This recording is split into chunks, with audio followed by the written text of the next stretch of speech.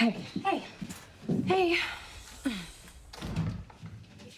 What are you wearing? Nothing. I did. I had to change, and this is all I had in my gym locker. Did you? Did you have an accident?